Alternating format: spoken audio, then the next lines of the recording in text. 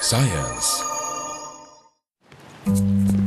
Íme Susi a 9 éves szumátrai orszarvú, a jégkorszaki gyapjas rinocérosz közvetlen leszármazottja. Harapan, Susi 6 éves fiútestvére Los Angelesből érkezett a Cincinnati állatkertbe. A két orszarvú vérfertőzésre készül. A természetvédők szerint ez az egyetlen remény, hogy megmentsék ezt a fajta kihalástól.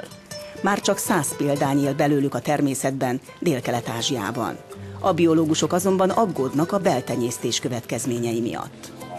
Mindeközben az ausztráliai Adelaide állatkertjében éppen az új kis jövevényeket ünneplik, a kontinens leginkább veszélyeztetett hüllőfajának utódait.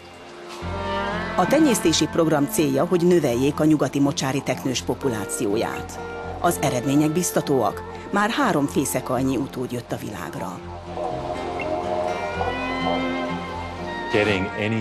A visszavadítás is fontos része ennek a programnak, hogy növelni tudjuk a szabadban élő példányok számát.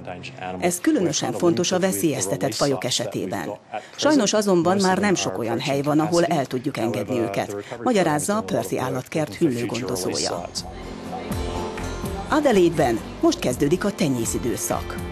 Az ivarérett teknősök súlyát megmérik, mielőtt párosával összeengednék őket a terráriumokban.